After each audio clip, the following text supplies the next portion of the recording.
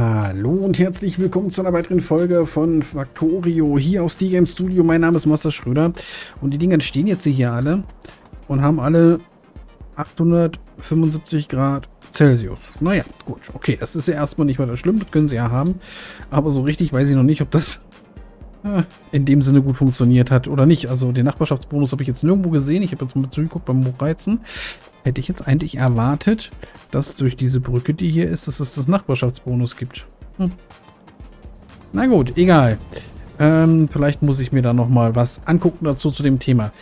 Apropos zu dem Thema angucken und Kommentare. Ich denke mal, dass so einige Kommentare jetzt schon gekommen sind wieder, weil ich hier äh, schon wieder bilden Unfug treibe oder irgendwas. Ich produziere gerade extrem weit vor, weil ich äh, mehr als eine Woche lang nicht aufnehmen kann. Deswegen kann ich nicht instant gleich immer dann drauf reagieren, wenn ihr schreibt. Ich versuche es natürlich dann nachzuholen, die Kommentare nachzulesen, beziehungsweise vielleicht auch aus dem Urlaub heraus dann irgendwo euch kurz ähm, signalisieren mit einem äh, Like oder ähnliches. Ich habe den Kommentar gelesen, ähm, aber ja, müssen wir mal gucken. Äh, mitunter hatte ich aber auch jetzt äh, ganz kurz, das kann ich ganz kurz mal erzählen. Ich hatte richtig äh, äh Struggle mit, äh, sagen wir mal, nicht so netten Kommentaren äh, aus einer, sag ich mal, russischen Bot-Familie, glaube ich. Ähm, die, also da hatte ich dann in kyrillischen Buchstaben äh, sehr, sehr unschöne Wörter unter meinen Kommentaren stehen oder unter meinen Videos stehen, was, ähm, ja, sag ich mal, fand ich jetzt weniger cool, aber okay, muss ich mit leben. Manche, manche Bots, die schreiben halt eben einfach auch irgendwo drunter, wo sie nicht drunter schreiben sollen. So, das kann dann erstmal weg hier. So. Und jetzt müssen wir gucken, dass wir... Ähm, erstens gucke ich jetzt mal ganz kurz nach, wie viel Energie ich erzeugen kann, wenn ich den Nachbarschaftsbonus nicht habe. Das heißt, wir werden hier erstmal ganz kurz den Nachbarschaftsbonus auf einen Reaktor stellen, also auf 0%. Dann sehen wir, dass wir 278 bräuchten, aber natürlich auch 2000 Liter. Also die haben wir ja nicht, wir haben ja bloß 1600 Liter. Das heißt, wir müssten dann bei der Energie mal runtergehen auf 1600 damit wir dann wieder bei der Energie glatt kommen und dann sehen wir, dass wir bloß noch 223 davon bräuchten. Naja, gut, okay. Also wir werden natürlich auf 2000 bauen, ne, auf äh, Energie, aber ja, da müsste es halt eben getankt. Also wenn es hier wirklich keinen Nachbarschaftsbonus gibt, so wie das hier aufgestellt ist, was ich äh, für eigentlich möglich halte, dass es den geben muss. So, wir brauchen von den... Hier habe ich noch 25 von denen wieder dabei. So. Äh, wo sind sie, wo sind sie, wo sind sie? Von den Dingern, da brauche ich jetzt ordentlich Material. Ähm, und dann müssen wir gucken, wie viel die verbrauchen, damit wir das dann ordentlich dann auch dahin kriegen. Und wir brauchen natürlich auch das Wasser, was wir dann noch dann machen müssen. Aber die will ich jetzt ja erstmal sozusagen so... Oh, das sind 10 Stück. So. So, das sind 20. Wie viel verbrauchen 20? Ähm, 20 mal... Hoch ist euer Kunstverbrauch? 30, ne? 20 mal 30 sind 600. Das heißt also hier eine Pumpe 600 reinpressen lassen, soll da nicht gehen, ne? Dass bis hinten auch immer was ankommt mit dem Dampf. 600. Das könnte klappen. Also wir müssten gucken, wie viele Bauteile man machen kann hinter einer Pumpe, bis wieder nur 30 sind, äh, also 30 gebraucht werden. Wir brauchen 278, also mache ich 28 nach vorne. Müssten 28 sein, genau. So, und dann stellen wir die mit dem Rüssel gegenüber.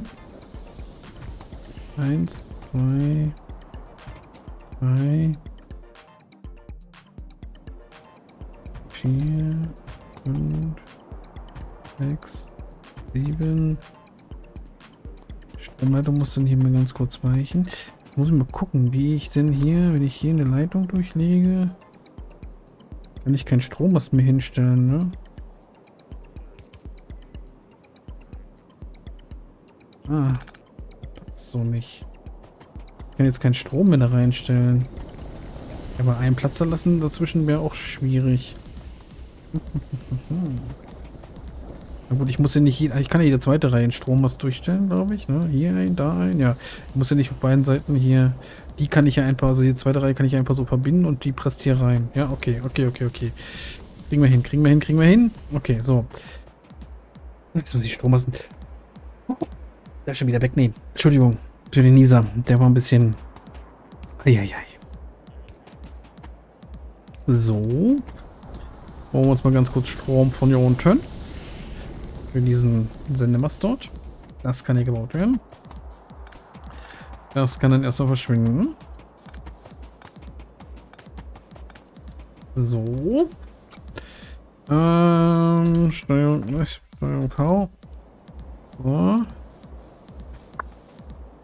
So. Das sind jetzt 1, 2, 3,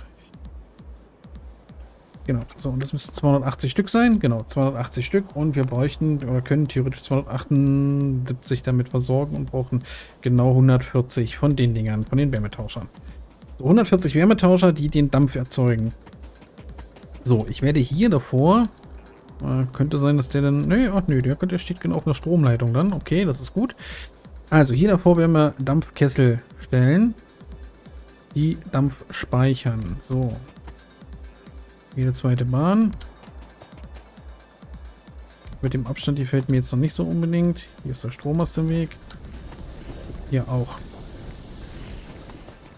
Viele Strommasten stehen immer im Weg.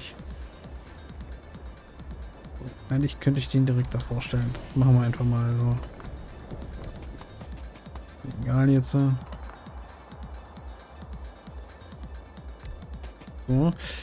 Dann kommt hier nämlich eine... So. So. So. Und dann wird da der Dampf durchgedrückt. Dann brauchen wir aber am Ende noch 60. Das wird knapp, glaube ich. Hm. Dann wir in jedem dritten eine Pumpe rein.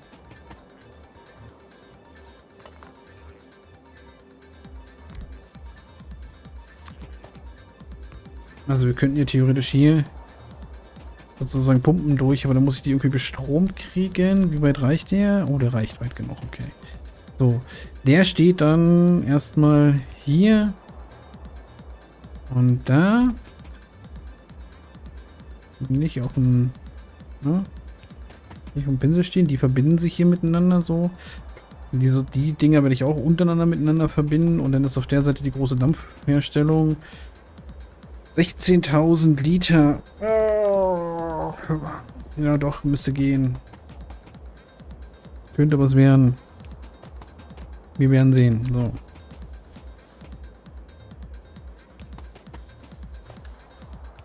Könnte was werden. Da. In seinem möglichen Leichtsinn.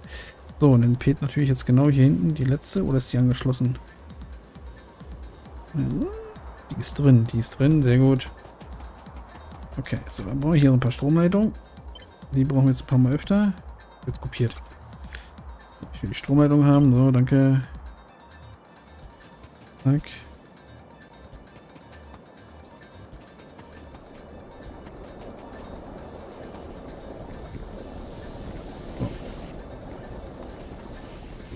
Okay, ich weiß nicht, ob hier Wassermangel drin herrscht. Nö, sieht ganz gut aus.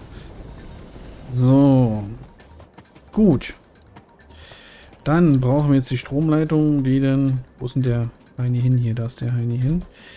Ähm, die auch die Pumpen sozusagen mit bedient. Ach, die Pumpen sind bedient. Nur der ist nicht bedient. Naja, dann kriegt er einen persönlichen Mast hier nochmal hin. So. Der ist noch nicht bedient. Achso, weil der Mast noch nicht steht. Naja, das wird jetzt gleich kommen. So, dann verbinden wir die Kessel untereinander. Einfach, damit hier das so durchnivellieren kann. Und so. Und dann ziehen wir ein Rohr so und dann machen wir eine Pumpe. So.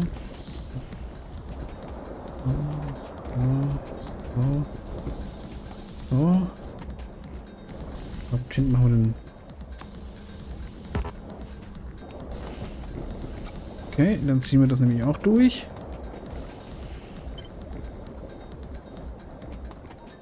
Ich glaube, die Pumpen muss ich denn liefern. Die werden noch nicht automatisch gebaut, ich bin mir nicht mehr ganz sicher. So, das haben wir dann auch. Da soll der Dampf durchtransportiert werden. Das heißt also, jeder dritte Dampfmaschine hat quasi ihren eigenen Anschluss hier. Da geht's schon los, da fliegen sie. Ah, hier muss ich auch noch einen hinsetzen. So. Den haben wir vergessen jetzt hier. So, Gut. Das erstmal zu dem. So, und dann machen wir nochmal Rohrverbinder hier dazwischen immer. Damit sozusagen die immer miteinander untereinander verbunden. Das ist natürlich unsinnig. Den zu überbauen. Das äh, gebe ich auch offen und ehrlich zu, dass das wieder dumm war. Und dann haben wir das auf jeden Fall schon mal geschafft. Und dann sollten noch Einikus und die Wärmetauscher jetzt davor stehen. In ausreichender Menge. Wenn wir diese Reihe hier...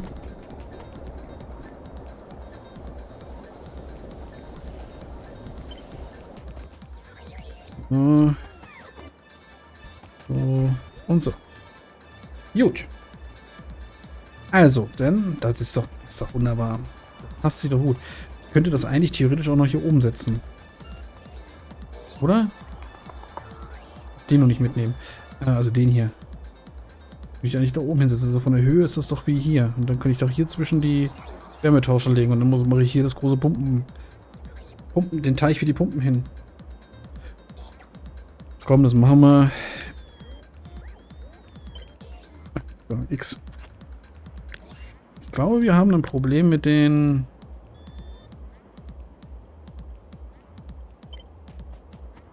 So.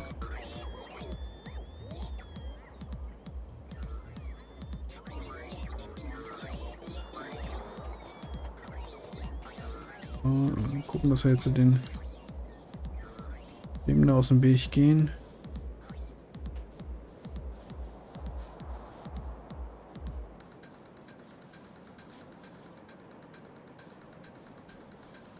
So hoch denn da oben? Nee, ne? Nee. Müsste sich ausgehen. So.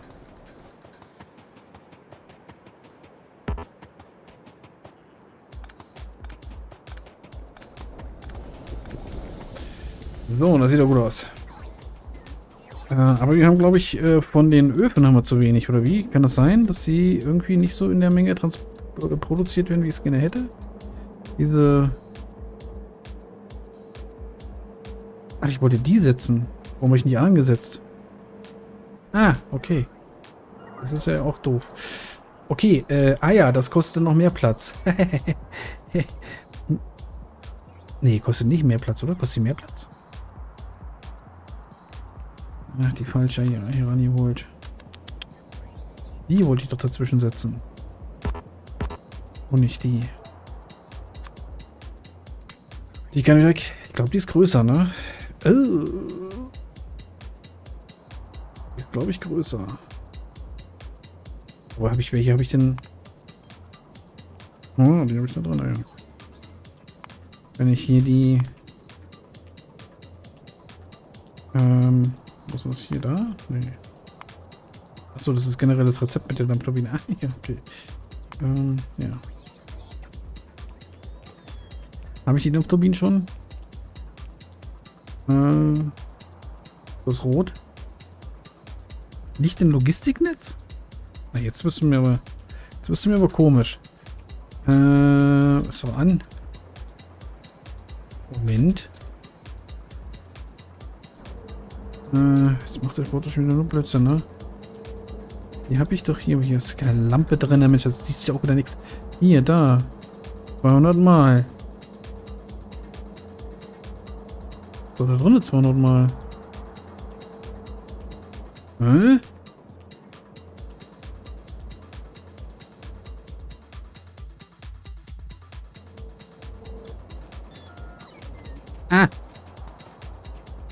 Ich bin nicht im Logistiknetz. Das ist jetzt natürlich wieder das Problem, was ich manchmal habe, ne? Mit mir selber bin ich ja manchmal ein bisschen... Naja, ich ein bisschen zu blöd. Einfach nur zu blöd. So, aber trotzdem wird das hier wahrscheinlich nicht so stehen bleiben können, weil diese Dinger größer sind. Naja, gut, bringen wir das mal her. Weil die Dinger machen ja nur halb so viel Energie. Hm, hm, hm, hm, hm. hm. Sind die größer oder nicht größer? Doch, die habe ich hier auch ersetzt, ne? Wie hätte ich mehr Platz nebeneinander, ne? Hier. Nö, die haben genau die gleiche Größe. Gleiche Größe, aber gleich... Ah, ja, okay. Dann kann ich die doch einfach eins zu eins ersetzen hier. Gut. Ah, wo kommen sie? Wo sind sie? Wo bleiben sie? Bringt sie mir. Da sind sie. Ah, sehr schön. Sind die gleich groß? Die sind gleich groß. Oh, ein Träumchen. Gut. Okay, dann müssen wir jetzt... Äh, ähm, Moment, ich brauche mal um so ein Abrissding. So, und der soll nur... Warte, die Dinge abreißen.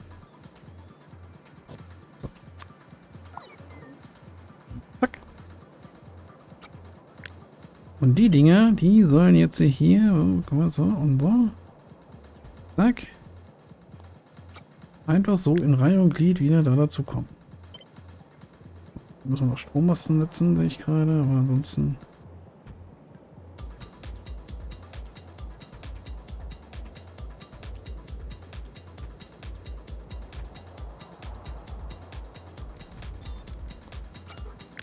Ja, bei Strommasten muss ich dann noch setzen, wieder hier unten. Damit das was wird.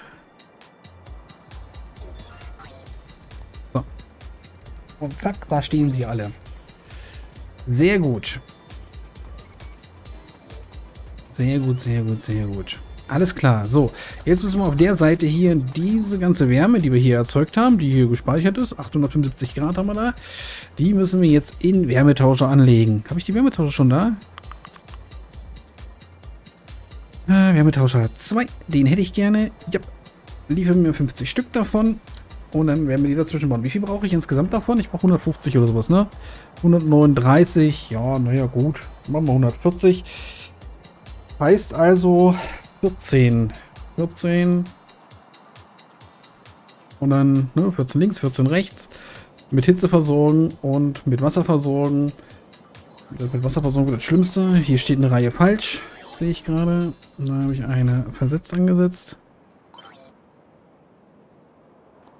Steuerung X. Die Reihe ist schon versetzt. So. Und dann haben wir hier unser Kraftwerk. Und dann kann ich das ganze Kraftwerk einfach eins zu eins so nehmen, drehen, 180 Grad, zack, und oben nochmal hingebaut. Und dann haben wir wirklich hier richtig viel Energie aus dem kleinen Komplex. Und dann eigentlich ziemt es sich dann, diesen ganzen Krempel hier abzureißen und da diese Kiste reinzubauen, dann, dass das dann hier zweimal da drin steckt und dann können die ganzen Bahnhöfe da weg und diesen ganzen Verbrauch und irgendwas, was da alles so noch so bei rumklimpert, können wir dann alles weghauen. Und hier ist natürlich jetzt wieder ordentlich Betrieb, weil die müssen jetzt hier wieder ordentlich erstmal ein bisschen produzieren, aber das ist ja okay soweit. Das darf ja ruhig passieren. Dadurch müsste ja theoretisch auch der Stromverbrauch wieder steigen. Deswegen den ganzen Schrapsel hier machen. So, gut. Alles klar. Wie sieht das überhaupt aus jetzt hier mit den Dingen, äh, die hier produzieren? Die, sind, die stehen alle voll da jetzt, oder? Ja, produzieren aber noch. Also das rauscht alles noch. Durch. Also es ist nicht so, dass sie... Okay. Und wie sieht es hier aus bei der Herstellung? Wo ist das hier? Oh, stehen auch alle voll, ne? Es ist, wenn keine Materialien, keine Metalle mehr momentan produziert, nichts verbraucht, was ist da los? Ist hier mein Prozessorwerk voll? Mein Prozessorwerk. Blaues Chipwerk ja unfassbar. 30.000 blaue Chips. Da muss ich mal ein bisschen was verbrauchen. Das ist ja unfassbar. So, gut. Also, wir werden jetzt von diesen Dingern hier irgendwo 50 Stück finden. So, also. Die brauchen natürlich einen Wasseranschluss und einen Dampfabgang. So, dann gucken wir mal, wie, wie ich jetzt hier dazwischen kriege. So, das sind keine 10 und keine 14. Ähm, ungünstig, ungünstig, ungünstig. Also ich könnte maximal bis hierhin rangehen. Weiter will ich nicht gehen. Da habe ich neun. Mhm, mhm, mhm. Okay. Hm, Ja, aber die Wärmeleitung wäre schon ganz gut soweit. Geben die Wasser durch? Die geben Wasser durch, ne? Also wenn ich hier, wenn ich die zusammenpresse und dann, aber dann muss ich wieder mit einer Pumpe Wasser reinleiten. Damit es was gibt. Okay, Moment, wir gucken mal. Ähm, wenn ich hier... Äh, äh, Pümpchen, so. Dann nehmen wir jetzt hier den Kameramann hoch und stellen ihn so dicht wie möglich da dran. So. Zwei. Drei. Vier. Fünf. Sechs. Sieben. Acht. Neun. Zehn. Elf. Zwölf. Reicht auch nicht aus. Also müssen wir uns da was anderes überlegen. Das heißt, wenn wir uns da was anderes überlegen müssen, dann können wir es auch weiter unten aufbauen und es muss halt alles durch die Gegend transportieren hier. Dann kriegen wir ja hin. Da sind wir ja, da sind wir ja Firmen drin mittlerweile. So, die Wärmeleitdinger. Ich werde jetzt erstmal die oberste Grenze nehmen wir erstmal hier oben. So. Wir Sieben?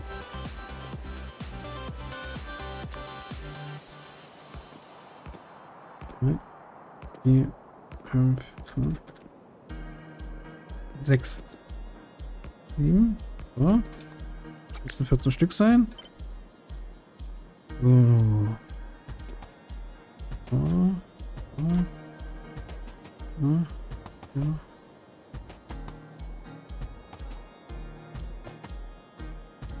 Wie haben wir jetzt in Runden? 140 Stück. Wenn ich die paar jetzt da vorne noch drauf aufgliedere, dann passt das doch. Wenn ich jetzt hier diese Reihe übernehme und da vorne hinstelle.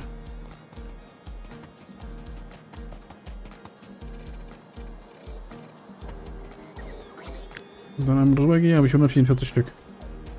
Okay, nehmen wir so. Nehmen wir so.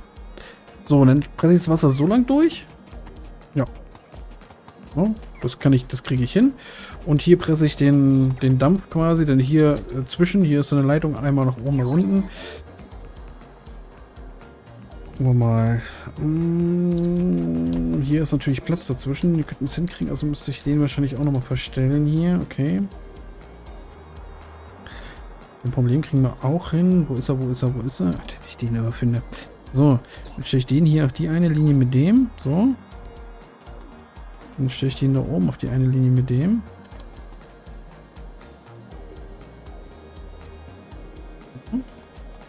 Kann ich den hier rausnehmen.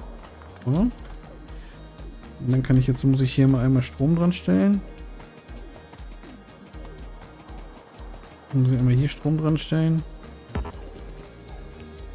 So. Und dann ist alles wieder grün hier. Oder gelb meine ich. Genau. Und dann habe ich hier genügend Platz dazwischen. So, dann kann nämlich hier der Dampf sozusagen... So. Ich mag das Geräusch. So, dann kann ich nämlich... Schön hier den Dampf quasi hier zwischen verteilen. So. Dann ist aber, dann ist aber hier wirklich keine interne Verbindung mehr drin. Hm, das verteilt sich hier eigentlich dann wieder, ne? Quer immer. Na, müssen wir mal gucken. So. Das heißt jetzt von hier bis da. Da. So. Hier zwischen sitzt eine Pumpe.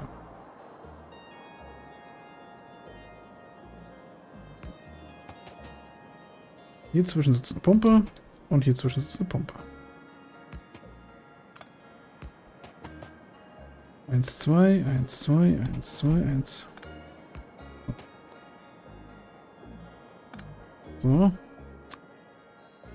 Nö, speicherte die Karte wieder. So, so, der geht da ran. Gucken. So.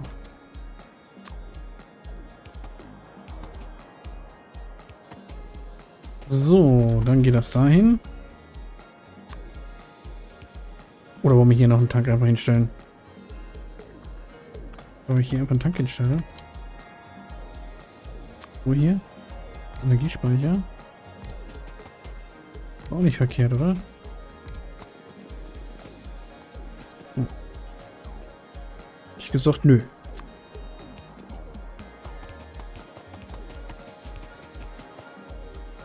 Ist doch auch gut. Und dann geht es dann mit der Pumpe ran. Oder ein Pumpe, die Pumpe ist ja schon dahinter. So. Oder schiebt das da ran. So, das kommt jetzt hier überall hin. Aber ganz kurz wegmachen. So, aber äh, nichtsdestotrotz muss ich jetzt mal einmal wieder eine kurze Pause einlegen, weil die Folge schon wieder so lang ist und ich muss ja eh vorproduzieren. Was ja also heißt, dass ich eigentlich immer kürzere Folgen machen möchte, damit ich genügend Folgen vorproduziert habe und so weiter und so fort. Zack. Und dann steht das hier. Und jetzt müssen wir nur noch die Heatpipes hier durchlegen. Und ein bisschen Strom. Und wir müssen das Wasser durchpressen können von unten in Massen. Ja. Ich denke mal, da werden wir dann immer hier eine Pumpe dazwischen bauen. Da, wo hier die Lücke immer ist. Ne? Da kommen dann hier Pumpen dazwischen. Und die treiben das dann an bis nach oben hin. Und hier kommt dann eine Heatpipe lang, die quasi einmal hier außen rum die ganzen Öfen miteinander verbindet. Hier legen wir eine runter. Dann verbinden wir die Öfen hier nochmal außen. Einfach was können. Und dann legen wir hier die Heatpipes rein. Das sollte hier dann einfach gehen. Bis jetzt beim nächsten Mal. Bis dann. Tschüss.